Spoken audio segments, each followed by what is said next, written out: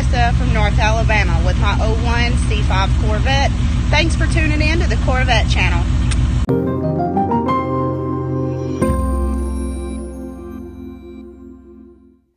Hi everybody, welcome to the channel. My name is Scott and today I'm going to be showing you how to check and clear the codes out of a later model C4 Corvette.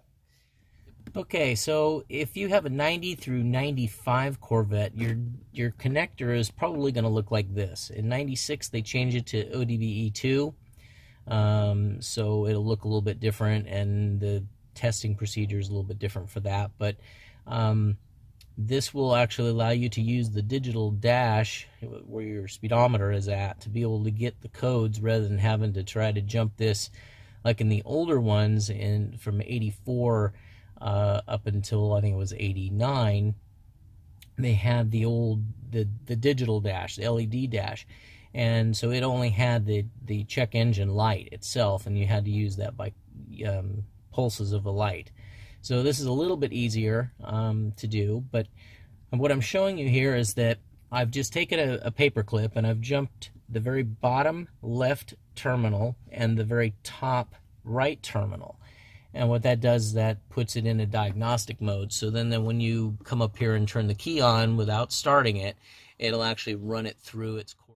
Okay, so once we've got the jumper set down below with the paper clip, you're going to come up here and you're going to turn the key on and you're going to see that it's going to go into diagnostic mode and it's going to report a C12 and then there's a line below that. That's if there's nothing in that particular section of the computer and you'll have the three lines.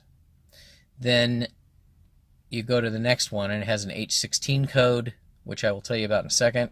It's cycling through all of its different computers, and that's going to be the only one that it's going to find. Okay, now it's come up to the 1.0, so it's done checking. So now over here, I'm going to use the trip odometer, and if you can see that, it's moving from 1.1, 1.2, 1.3. These are all subsections of the computer, so if there is a problem, it would let you know. Now, here is 1.7. This is the erase mode. This is where if you've made some changes, you fixed something, and now you need to get, get the codes cleared, you want to do that so you can make sure you've got everything fixed. So to do that, we got up to the 1.7 and now we're just simply going to hold the metric or English metric button down for a second until we get the three the three lines across there. That means that we've cleared the codes. Then at that point, we're going to press and hold the trip button, and that's going to get us into the next computer. And then again, we're going to hit the trip odometer button, and it's going to cycle through until we get to 4.7. And then we're going to hit the English metric until we get the three lines. Then we're going to hit the trip button again. And that's going to put us into the 9 computer. We're going to hit the trip odometer. And we've got to 9.7. And now we're going to hit the trip or the uh, English metric button again. And that's clearing everything in the computer till we got everything is cleaned out. Okay, so we're going to test it now. Now that we've cleared the codes. And the only one that we should get would be the H16. And that will be coming because of the um, because I have a, a aftermarket MagnaSpark system in the car. Um, the person that had the car before me did not replace it with a genuine GM part, and apparently it sends a, from what I've read, um, it puts out a special signal to the computer to let it know it's genuine. Um, I don't know how many different ones. Uh, I'm sure there's aftermarket ones that work just perfectly. I don't have any other issues with the car, so it doesn't really matter. It doesn't trigger a check engine light or anything like that. So the only time I ever see it is when I'm in the diagnostic mode like this.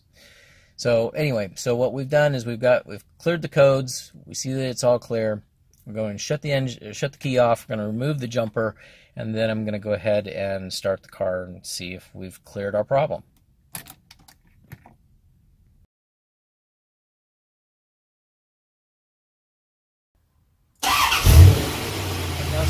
car. It's like like we do. We're just gonna wait our 10 seconds, and if that ends up being the case, we've got more work to do, but otherwise, I think we've, I think we've got it handled.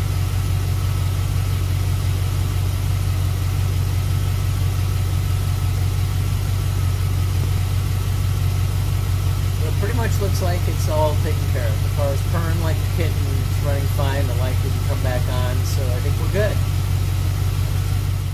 If you liked the video that you saw today, please hit that subscribe button, hit that like button, and hit the bell so you'll be notified of our next uploads. Thanks for watching, and we'll talk to you later. Hi, I'm Lily. Thank you for watching the Corvette channel, and don't forget to hit subscribe.